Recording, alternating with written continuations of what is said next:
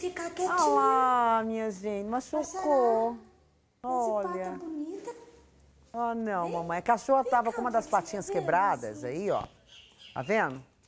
Olha só, os bombeiros fizeram curativos, enfaixaram essa pata quebrada e perceberam que ela passou há pouco tempo por uma cirurgia. Tá com vários pontos na barriga. Pode ter sido, inclusive, uma cirurgia de castração. Os bombeiros querem descobrir quem é o dono da cadelinha. Se você é o dono, partiu, viu? Pode partir ali, ó.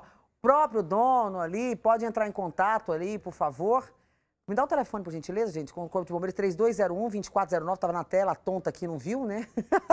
3201-2409. Resgatem a cachorrinha também. O pessoal às vezes manda muita coisa de cachorrinho pra gente. É porque o Balanço Geral já tem um quadro específico para cachorros desaparecidos. É por isso que a gente não passa aqui no Cidade, né?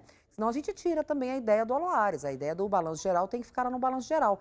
E hoje eu recebi, inclusive, já estou encaminhando ali para o Balanço Geral para passar um cachorrinho que desapareceu num tenente da Polícia Militar. Aqui é assim, um ajudando ao outro para a gente fazer a Record TV Goiás cada vez melhor para você.